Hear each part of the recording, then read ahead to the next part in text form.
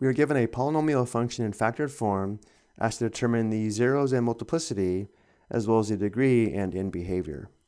The zeros of the polynomial function are the x values, where the function value is 0. And because the polynomial function is in factored form, the values of x that make each factor equal to 0 are the zeros of the polynomial. So looking at the first factor of x plus 1, we know x plus 1 is equal to 0 when x equals negative 1. X equals negative 1 is a 0 of the polynomial function. But notice how we have the quantity x plus 1 raised to the fourth. So because we have four factors of x plus 1, the 0 of negative 1 has multiplicity 4. Next, the factor of x plus 2 is equal to 0 when x equals negative 2. Negative 2 is a 0 of the polynomial function, but because of the exponent of 2, we know we have two factors of x plus 2, and therefore the 0 of negative 2 has multiplicity 2. Next, the factor of 5x plus 1 is 0 when x equals negative 1 fifth. If we can't tell that by inspection, we can always set the factor of 5x plus 1 equal to 0 and solve. The first step would be to subtract 1 on both sides, giving us 5x equals negative 1, and then divide both sides by 5, and we do get x equals negative 1 fifth, which is a 0 of the polynomial function. But because the factor of 5x plus 1 is raised to the second power, this 0 has multiplicity 2. And then finally, the factor of x minus 2 is equal to 0 when x equals positive 2. x equals positive 2 is a 0 of the polynomial function, but because the factor of x minus 2 is raised to the third power, the 0 of x equals 2 has multiplicity 3. Next, we're asked to determine the degree of the polynomial function. The degree of the polynomial function is the same as the degree of the term with the highest degree. Let's analyze this function and see if we can find the leading term or the term that would have the highest degree. So beginning, we know we have a factor of 3. then the term with the highest degree from the quantity x plus 1 raised to the fourth would be x to the fourth. So we'll multiply by x to the fourth times the term with the highest degree from the quantity x plus 2 squared would be x squared times the term with the highest degree from the quantity 5x plus 1 squared would be the square of 5x or 25x squared. And then finally, the term with the highest degree from the quantity x minus 2 cubed would be x cubed. So now multiplying, 3 times 25 is 75, and then we have x to the fourth times x to the second times x to the second times x to the third.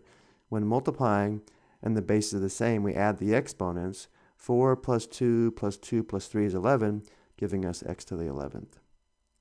So this would be the leading term of the polynomial function, or the term with the highest degree. And notice how the degree of this term is 11, which means the degree of the polynomial is also 11. And now for the last part, we're asked to determine the end behavior of the polynomial function.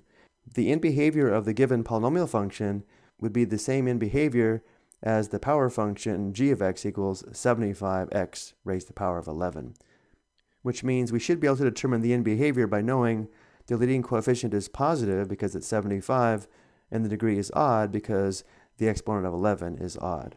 If we go back to our notes, as long as we know the leading term or the term with the highest degree of any polynomial, we can determine the end behavior just by using that first term. Where if the term is in the form a times x raised to the power of n, if a is positive, we can find the end behavior in this row.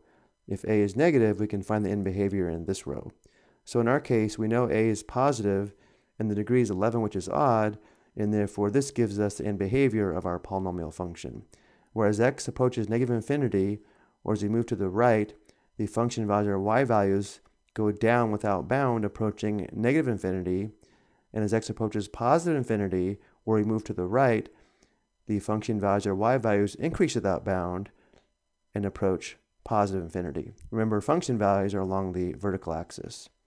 Or of course, if we needed to, we could always graph the original function, or we could just graph the first term of the polynomial function, which is 75x to the 11th.